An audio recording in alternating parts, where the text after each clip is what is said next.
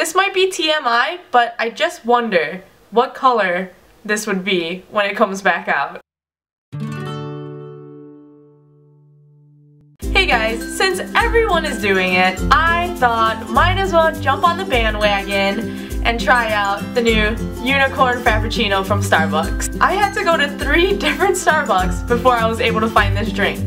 Granted, I do live around like six Starbucks, but guys, that's insane. So I've seen some reactions already about this and everyone says it's really sweet and I really don't like sweet things, like sweet drinks. So I don't know how I'm gonna feel about this and guys, like the color of this is like ridiculous.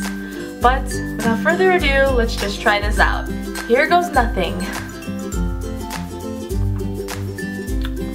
Oh, oh, wait. Quite nice. What is it? It tastes like a, it tastes like sour candy. It's not, it's not as bad as I thought it was. Like, you know how like cotton candy is, like where it's just like just, well cotton candy is just sugar, but that's exactly what I thought this was gonna be like, just cotton candy, just sugar.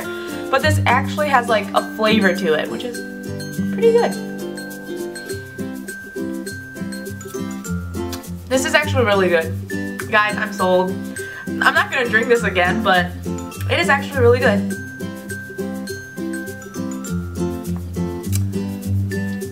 Um, I think the flavor that I taste most in this is mango because I heard, um, I was reading online that it actually has mango syrup in there.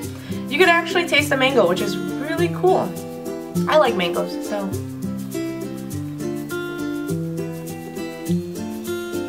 Guys, this is really good. Oh man. Oh no. But there's so much sugar in there. I heard that it's supposed to like change flavor as you drink it and right now I like the taste so I hope it doesn't change.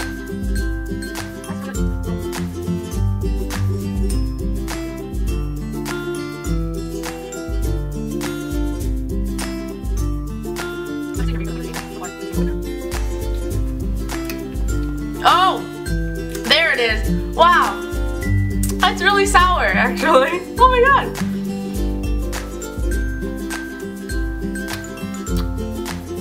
So pretty much, it really is like what it says, where it just goes from sweet to sour, and it's actually quite sour if you get like enough. I'm guessing the uh, the blue syrup is actually what makes it sour, and it looks like I'm just getting to it, so.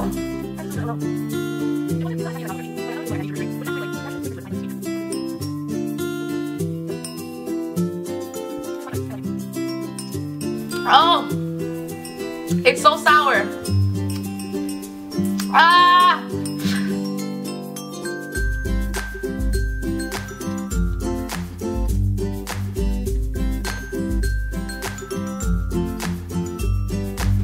Guys, I'm not gonna lie though, like even though it's like really oddly colored, it's actually a really pretty drink.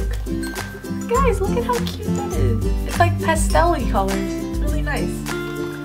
It really is a unicorn frappuccino.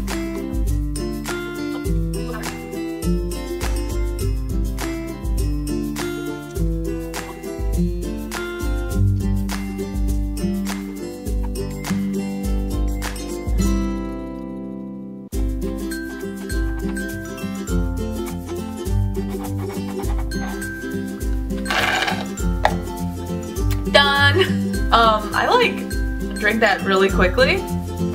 But it wasn't as bad as I thought it was gonna be. I thought it was gonna be really, really bad. Like, honest, like, honest to God, I thought it was like gonna be really, really sweet and just really awful. It probably is really awful for me. Like, I still feel the need to go run like 50 miles right now just to work this off, but, oh.